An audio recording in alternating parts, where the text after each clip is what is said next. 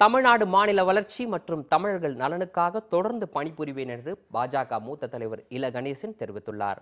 மத்திய பிரதேசத்தில் நேற்று மாநிலங்களவை உறுப்பினர் பதவிக்கு வேட்புமனு தாக்கல் செய்த அவருக்கு இன்று சென்னை கமலாலயத்தில் வரவேற்பு அளிக்கப்பட்டது.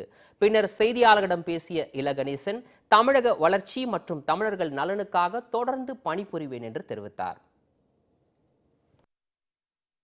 பிரதமர் நரேந்திர மோடி என்ன ஆணையிடுகிறாரோ அந்த ஆணையை செயல்படுத்துகின்ற வகையிலும் தொடக்க நாள் முதல் எனது பொது வாழ்க்கையில் தமிழ் தமிழ்நாடு தமிழர்கள் தமிழ்நாட்டு தமிழர்கள் மாத்திரமல்லாமல் உலகமெல்லாம் வாழ்ந்து கொண்டிருக்கிற தமிழர்கள் நலன் ஆகியவைக்கு முன்னுரிமை கொடுக்கின்ற வகையிலும் எனது பணி தொடர்ந்து நடைபெறும்.